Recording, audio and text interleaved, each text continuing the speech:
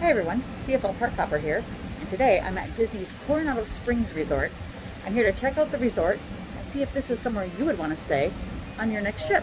Let's go check it out. All right, so we're gonna start off our tour inside the Gran Destino Tower. This tower is new, or recently new. It opened in July of 2019. And then of course, you know, the resort shut down last March and was closed, I think, um, until maybe October of this past year. So the tower is very, very new. Um, and I've only been inside of it once. So I'm excited to go back in and check it back out. All right, so check this out. I'm on the ground floor of the tower. And look at this lobby. It's just beautiful. Great place to sit. They do have a bar here. It's not open. Um, I don't know if that's because of COVID or if it's just too early yet for it. But this is just a nice seating area in general and very beautiful look. Check out the art on the walls. So awesome. Check out this one over here. Very cool. All right, now we're gonna head up these stairs and this is where the main check-in desk is. Check out the look of this lobby. It's just beautiful. I love the look. Here's where we just were. This looks out over the lake and the whole resort is behind it. This over here would be the main entrance where you pull up with your car. If you're checking in. They have the Dahlia Lounge, which is open from 5 p.m. until midnight. They also have a restaurant upstairs on that 16th floor, but it is not currently open, and I can't wait for it to open again. They also have uh, the Barcelona Lounge. I guess that's where we were downstairs, I think. Oh yeah, that's open for breakfast, I guess, 6 a.m. to 11 a.m. Okay. And we're gonna check out some of these other restaurants as well and walk around the resort and even check out a room. So let's get going. All right, so this is inside of one of the Coronado rooms. Check out the little Mickey towel welcome. That's pretty cute. And this is two uh, queen size beds. And then you have the bathroom over here, double sinks. So that's nice. Lots of cabinet space and closet pretty spacious for hanging stuff for putting supplies down below. We've already put some of our stuff away. Here's the bathroom. It's a little bit more spacious. I filmed um, the Coronado, or the Caribbean Beach, I'm sorry, uh, recently. I'm trying to find the light. Here we go. There we go. And that bathroom seems small, and that was a renovated room as well. This seems more spacious to me. A little bit more width in here. Um, nice shower. Check out the shower heads. So pretty cool. And all of them always come with the H2O shampoo and conditioner and soap, which is pretty good stuff. And then over here you have a really long counter. Um, you could plug in a lot of stuff like phones and uh, computer tablets, all kinds of stuff. Big flat screen TV, lots of drawer space, desk space.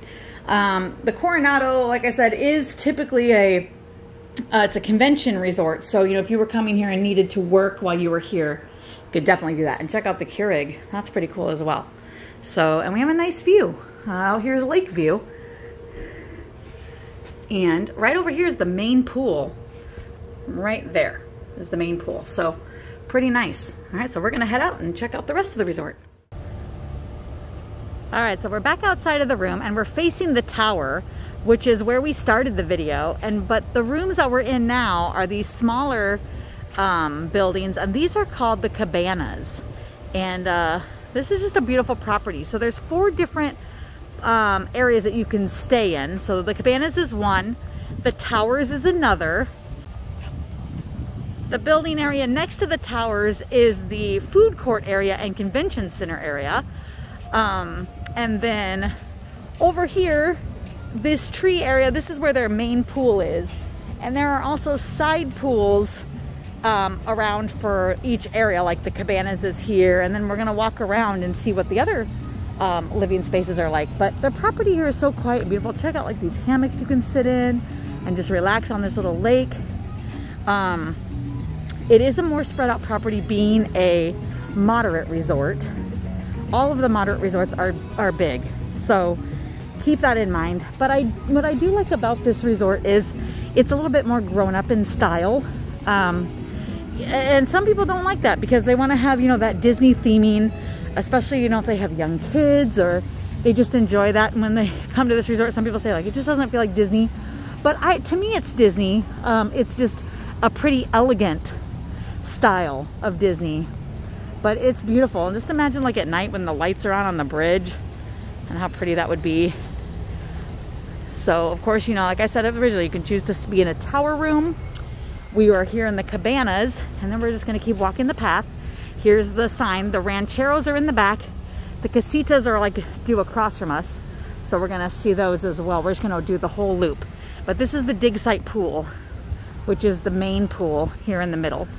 And they have a water slide and it's a pretty big pool. All right, and I'm coming around the corner and already now we're in the more the rancheros which this reminds me, you know, of like more southwest looking architecture and the plant life. I can already see some like cactus type plants up ahead. I like this area back here, these rancheros. I just like the theming, the rocks, the plants, and they have their own little private pool back here too. So again, each little area where we are staying in the cabanas, they have a small pool.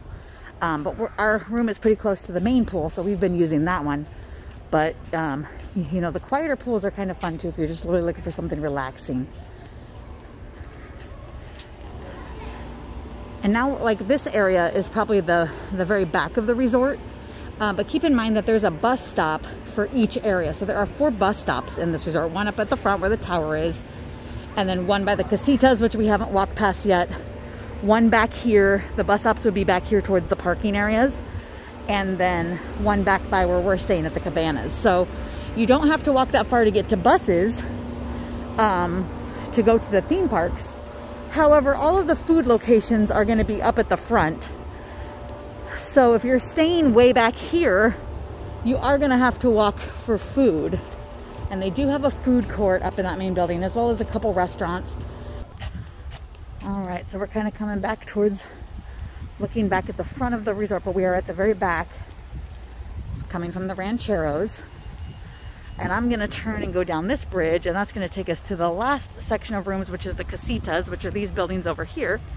But straight in front of us is a building that's called the Three Bridges Bar and Grill Restaurant. And so I could just keep walking up the path here and go onto that bridge and be at that restaurant also I keep walking along this path I'll come back up to the pool again the main pool in the middle and here's a map I'm gonna show you guys the map of the resort as well to give you a better idea so the, the dig site is here in the middle. That's the big pool, the main pool. Here's the tower. This is where we came in. We started our walking tour in the cabanas. That's where I showed you the inside of the room. And then we just came through the rancheros in the back over here. And now we are right here on the map. And we're headed this way towards the casitas. And then we're going to end up back at the front, the El Centro. So I'm going to show you some of the restaurants that they have. Okay, and again, as you see the big convention center. So this is a convention center resort. And you know, conventions aren't really going on right now, but this is a resort. This is a resort where, you know, families can come. If, if, if uh, someone has a convention, the rest of the family can come and stay as well and be doing Disney. Um, but, you know, it's a little bit more of a grown-up looking resort, like I said. And I think some people don't like that. They think, oh, I don't want to stay there. But, you know, we don't have kids with us on our stay. So for us, it's nice and quiet and more adult. I would highly suggest this if you're looking for like a good honeymoon or a couple vacation. This I could see this resort being great for that. And even with kids, we saw many kids at the main pool. So there are many families staying here. And it's a great resort, I think. Uh, it's a nice moderate. Out of if I had to compare this with Caribbean Beach, which I stayed there a few months ago, I would definitely pick this over Caribbean Beach. The only draw to me for Caribbean Beach was honestly the Skyliner. Then that's just my personal opinion. Um, but you know, it was nice to have the Skyliner, but I just, I really wasn't happy with our room. I didn't really enjoy it that much. Um, the food options there are okay, but I didn't enjoy it that much either. However, here I really like the rooms a lot more. Yes, it's buses to everything, um, but I don't mind that. So I think it's going to be personal preference um, on, you know, if you're trying to decide which moderate is better. And right now the other two moderates, which are the Port Orleans Riverside and French Quarter, they're not quite open yet. I'm not sure when they're gonna reopen from COVID. So, but once they do reopen, I'll go over and check those out as well. But these are the casitas. So these buildings are much more connected and they're three floors, it looks like. A little fountain in the middle is cute. So where the uh, rancheros and the cabanas are more individual buildings. And here's our view. We're getting closer to the Three Bridges Bar and Grill restaurant, which is open.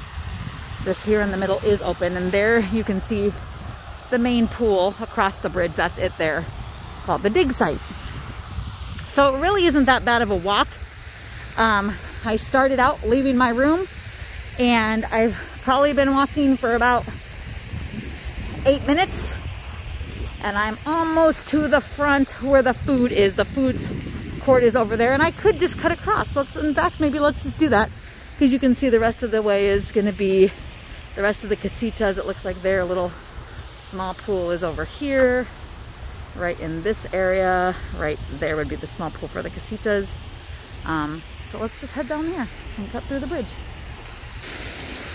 So if I was staying in the casitas, I could just cross this bridge to get over to the pool. So everything is pretty accessible. Even though it's a large resort, there's paths to cut across um, to get to the different things you're trying to get to. Again, the furthest away would be the Rancheros way back there. You'd have to come down all this way because here's the food court. We're about halfway. But again, that would probably be a five minute walk total. It wouldn't be too bad. So here's the Three Bridges Bar and Grill restaurant. I'm going to show you the um, menu. It's so they have some sandwiches and salads. And they have some cocktails and drinks. So it's a smaller menu. But it's pretty nice in here. And check out the outdoor seating. So if you're looking for something light to eat, it'd be kind of fun to come here. Now let's head down and check out the main food court. All right, so we're inside and we're headed down to the food court. So it's called El Mercado de Coronado. And let me see. So it looks like you can come in and then they have little stations in the back with different things. They have some cold stuff right over here at the beginning. Some salads and sandwiches and fruit, drinks, kinds of stuff like that. They even have cereal and granola bars and stuff like for the morning. Some chips and snacks and cookies you could take to your room.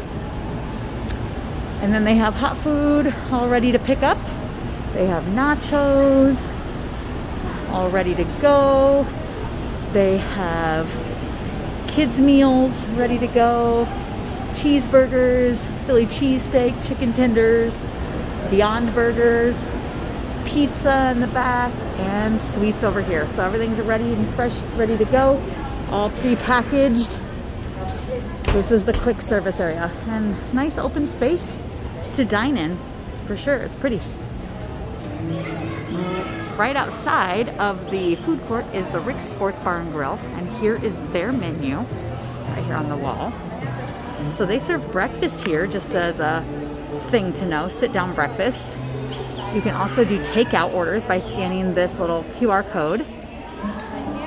The food court would also have breakfast. I was waiting to see the dinner menu So breakfast is from 7 to 10.30 and then they have lunch and dinner from 11 to 11. Let's see what's on the... They have soup and salad. They have Philly cheesesteak, California chicken sandwich, fried chicken tender basket, cheeseburger. So a lot of the same stuff is in the quick service, only you can sit down inside. So I guess if you're just looking more for sitting down in here, that would be an option.